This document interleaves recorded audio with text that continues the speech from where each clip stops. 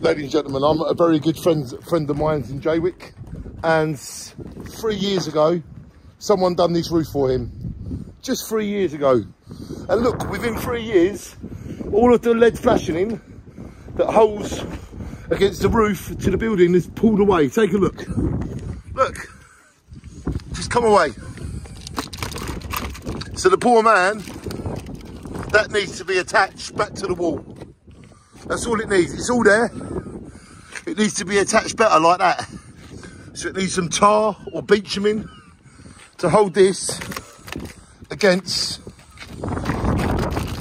there, see? That's all it needs. So we need to get this up like that. I could probably hold it up with a couple of bricks for now. So that's what I'm probably going to do. I'm probably going to get a couple of bricks or something to hold it up that will keep 90% of it out. But if there's anyone out there wants to do a job, a roofing job, and this is for someone that hasn't got a lot of money, this is Jaywick.